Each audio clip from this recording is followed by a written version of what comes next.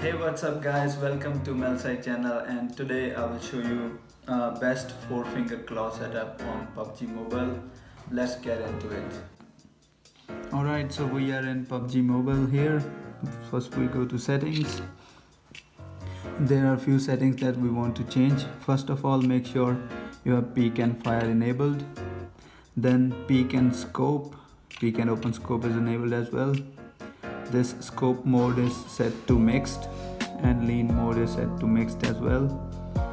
And uh, I, I play with gyroscope so my gyroscope is always on. And uh, yeah these settings don't really matter. Let's go to controls. And uh, let's see how we gonna set up. So we go to a new layout I'll just reset it. Okay so first of all we need to change our controls into four fingers okay? So the first finger goes here the second one goes in this place and the third one will be over here and the fourth one will be over here okay? So now we need to make some room over here and make and change some controls. So I'll start by moving this over and there these options will let you uh, decrease the size of these buttons. I'll lower the size a little bit. Make some room here. Now for this control we will be using the fire buttons on the left. So I'll put these two buttons on the left. And I like to move this this player names and stuff on the bottom the size now as we are here I like to move this button over here the bag. And I usually don't use the FPP button so I'll hide it in the settings uh, later. Now we increase the size of these two guys over here. And right next to it is the scope. Changing button we move it here and decrease the size Alright, so that looks kind of cool and this cancel button can go over here because we have a bit of room around this area. Right, now what I like to do over here is move these audio controls in the center and I lower their opacity a little bit, transparency. Now the map is too big, I'll decrease the size 94 move it to the corner. And this emoji button the, this the one where we have all the dance moves and all move it around here. There if you can see that. Now this uh, this crate option will decrease its oops just a minute. There it is I'll decrease the size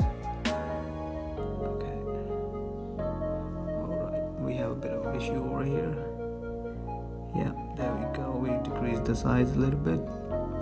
I move it there and this hand option I'll move it there. This I button over here and the exit button over here. So as you can see uh, we have a bit of room in this area. So what I'm gonna do is place this scope button there increase the size. Now I like to put the prone button at uh, right at the bottom over there. So move the prone button here. Now we need to put these peek controls over here. So we'll be having four control buttons over here. So that's our main um, four finger claw setup. So usually your this area should be a bit empty this button won't show up because that's only when you are in a car. And I'll increase the size of the jump button because I just like to have a bigger jump button over here. And, uh, and yeah that's that's our four finger claw setup. And let's save this setting. And we hit exit. And uh, now I'll show you a gameplay. And I'll show you how to use gyroscope as well. And by the way this is the setting. So that's third person camera.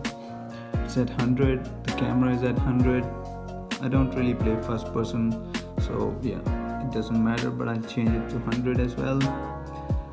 This is my setting. It's just default. I haven't changed anything. This is the ADS doesn't really matter because I use gyroscope a lot but still just change it to 100 yeah. And this is the gyroscope. So third person no scope at 300 first person no scope at 300 as well. Red dot is at 150 2x scope at 150 3x at 150 4x at 150 and 6x at 90 and 8x at 45 so that's all in the sensitivity settings. So let's go to training mode and I'll show you a little bit of the gameplay. Okay so we are in the in the training mode and uh, so this is the four finger claw setup that we have. Now two fingers go here. So this is the empty space to move around.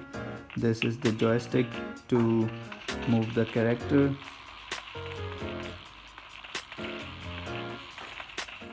and this is our fire button. And these are our options. Okay so so what I'm gonna show you is how to use gyroscope. So what I'll do is just take a bag. Maybe level 3 bag is better. And a vest. We don't really need a helmet. I'll take M416 and let's grab some bullets. Or ammo ammo? Yeah I need ammo. And maybe we'll need an extended mag magazine. Uh compensator maybe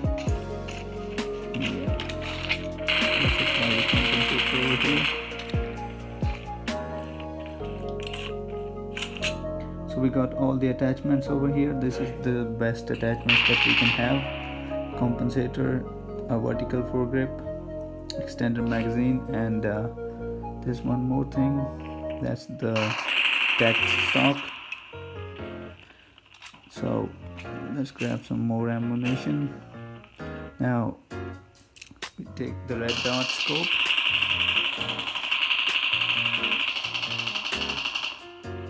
And now the benefit of gyroscope is that you can look around without uh, touching the screen. So as you can see I'm moving my phone and I'm looking around. The benefit of this is that if you have the scope on and you shoot and you shoot I'm just moving my phone down and my aim stays at the right at the same place. Oh my god these people are making so much so much noise. So that's the benefit of gyroscope. So for example there's an enemy uh, over here and you want to uh, shoot. So what you do is you press the fire button and you move the phone down like this okay and if he's moving you just move your phone uh, along along the person. So let's let's shoot this person here. I'm moving my phone down. And the aim say aim stays at the same place. And these are the peek buttons. Now if you if you remember I told you you have to put the lean mode on mixed and scope mode on mixed as well. So what's the benefit of that is if you press the scope goes open and it stays open. But if you hold the scope stays open and as soon as you leave it you get out you go out of the scope. And it's the same with the lean modes. So if I'm if for example if I'm taking a peek as I take the peek as I press the button the scope opens itself. And uh, what I can do is I can shoot and and and yeah you have to move the phone alongside because you're using gyro. So that's the benefit. But if you just press it uh, it just stays you, you know you, you just stay in the peek. Yeah. But if you hold you stay in the peek as long as you're holding the button. And once you leave you're out of the peek. And the scope closes itself and that's the thing that you need to practice to you know um, like so you can control all the scopes. So I'll just switch to a different scope now. And then we'll see how it goes. Let's take 2x and 3x two times or three times. And I'm gonna switch the scope to two times. And let's let's have a let's have, let's go for a try.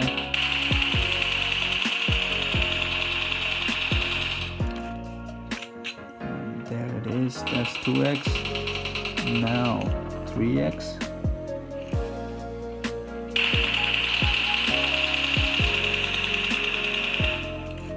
that's a 3x now you can if you don't want to use gyroscope what you can do is uh, with this thumb as you are firing you just pull the thumb down. And that will make sure that you are you know your recoil is in control. And that's that's so much of headshots. Now I'll change the scope. Let's try with red dot. So as I'm firing I will push pull down with my thumb. And that's how you control the recoil. And if you if you crouch and you shoot the recoil is a bit less easier to control. And that's all uh, and you have to just practice keep practicing as long as you you know master all the controls and uh, yeah that's I think that's it for today's video. Thank you so much for watching. And uh, this is the way you hold your phone. So just in case if you don't know how to use four fingers to use it like this. So this finger moves around. You fire from here. You move from there. You run run like a pro. And you look around from this side or you use your gyroscope and once you once you want to shoot somebody you just move your phone. You just tilt your phone downwards. And that's how you play. And uh, that's how it looks from the back. So two fingers at the top. That's how you play four finger claw alright thank you so much guys for watching and uh, let me know if I missed something. And thank you